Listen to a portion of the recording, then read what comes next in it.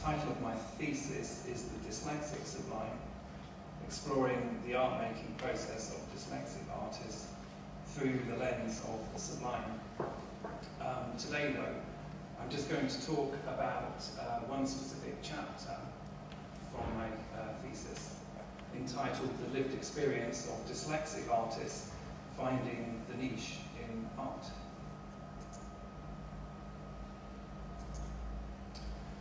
So, the etymology of dyslexia then, uh, uh, being uh, difficulty and lexia relating to um, reading of uh, uh, reading a word, reading words. Um, as outlined there by the British Dyslexia Association, um, this learning difficulty involves accurate and fluid word reading and spelling.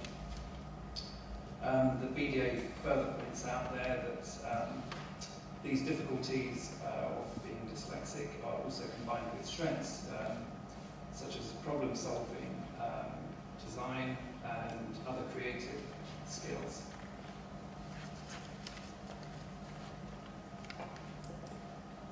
So according to the American Psychiatric Association, trauma is defined when somebody is experience, uh, experiences uh, physical harm or death um, recently, over the last few decades anyway, authors in the field of dyslexia um, have discoursed on being humilified, uh, humiliated, stupefied, and in some cases uh, being emotionally abused or physically abused at school.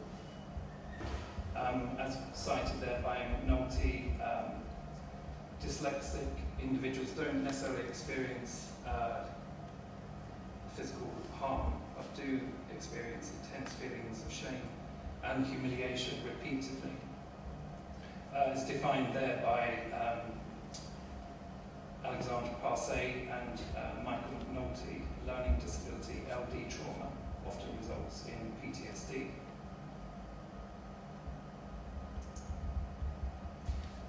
So the research questions I'm looking to answer just in this presentation then, which also relate to my research questions in my thesis, how does the lived experience of discrimination, marginalisation and stigmatisation influence the art making of dyslexic artists? And secondly, how does the experience of otherness lead to unique art making and transcendence of the trauma experience? So I'm using uh, qualitative research uh, methodology in my, uh, uh in my PhD to really understand the lived experience of dyslexic artists like myself. Um, these qualitative methods, such as interviews, allow for an in-depth exploration of these participants' lived experiences. I also utilize thematic analysis to um, look at the data I gathered. Um, this helped me uh, create a nuanced understanding of dyslexic artist experiences. So I interviewed, well, I collated 20 dyslexic artists.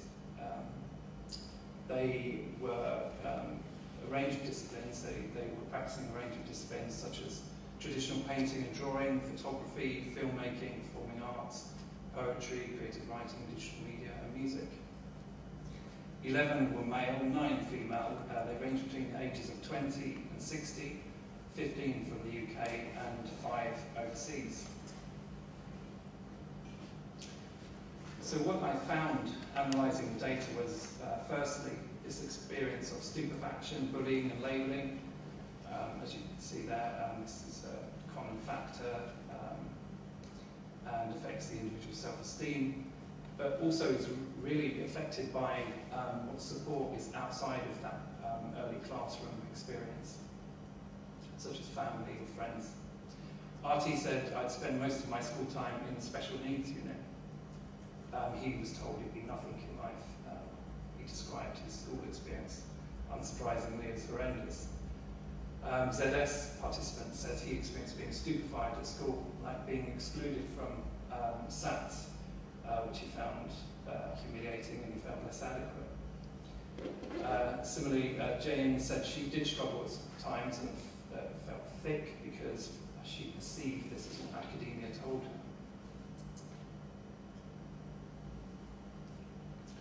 So this trauma is evident um, in various forms um, and can lead to internalizing of negative self-narratives.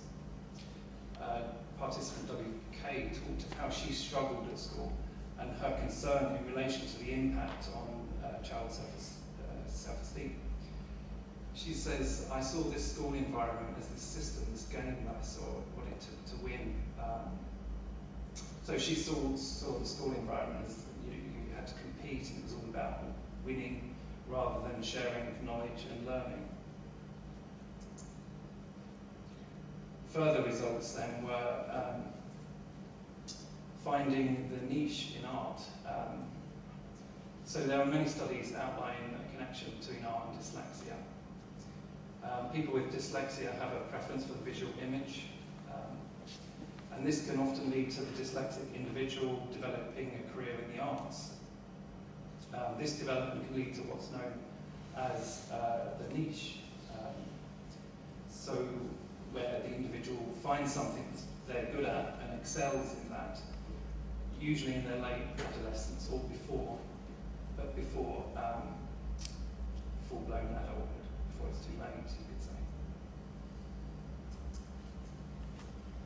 So participant NM described being dyslexic as a double-edged sword, um, but he did attend a specialist school, um, and that was quite fortunate for him because, as he says there, he found this as an escape, his art, that is, and you were aware of the artistic talent you'd been given, so obviously his teachers picked up on his abilities, focused on his abilities rather than his disabilities.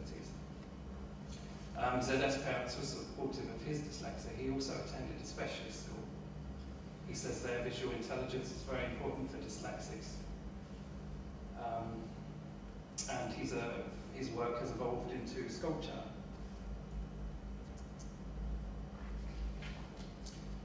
Furthermore, then, uh, CP described his experience as just dreadful. He took up guitar lessons at the age of 10, but was told at parents' evening by his teacher in front of his parents that he, he should pack up as he will never play an instrument in his life. Um, he's of the age where punk was a thing, so he, he joined a punk band instead. He only had to play three chords, he says. And he's gone on to teach music most of his life, proving his teacher wrong. Um, HS parents were supportive um, of her um, dyslexia. She was initially threatened with what was protocol at that time with a mentally uh, being placed in a mentally handicapped school. Her parents sent her to an expensive boarding school and she developed this interest with using her hands and this precision with uh, machine um, and um, where she gained confidence in her adolescence. Um, she is now a successful artist and educator.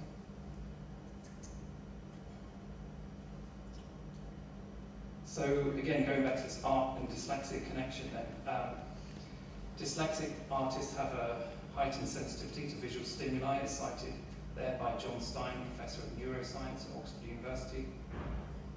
Neuroimaging results show increased activity in the right side of the brain in dyslexics in relation to divergent thinking, problem solving. Um, again, Stein goes on to talk of this holistic artistic seeing the whole picture, um, attributable to uh, connection with art and dyslexia. He talks of superior perceptual abilities. Uh, I questioned Stein through email, which he, um, I was grateful that he responded. He said, there are enough anecdotes now to call it evidence and that um, this connection between art and dyslexia can be quantified scientifically.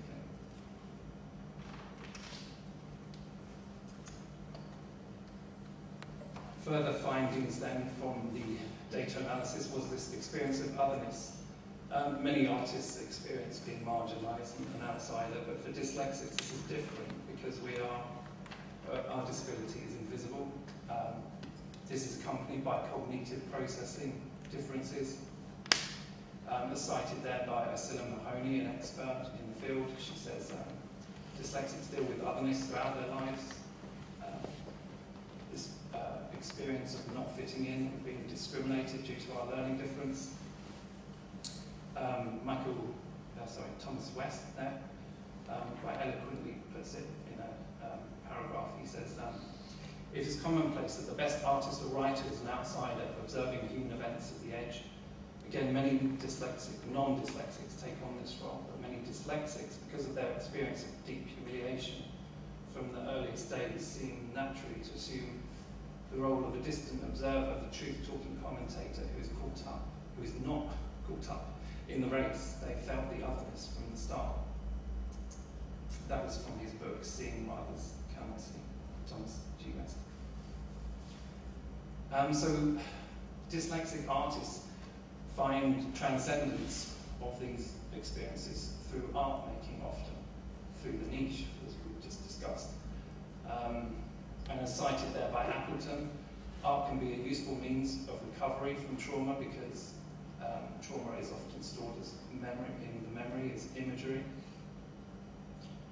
Artists with dyslexia find a sense of healing through art and the art making process, finding this niche where we're, we're allowed to fail without fear of further humiliation, um, away from, sometimes away from the classroom experience. Learn from failure and eventually succeed and be good at something are transcendent experiences as cited there by Decker.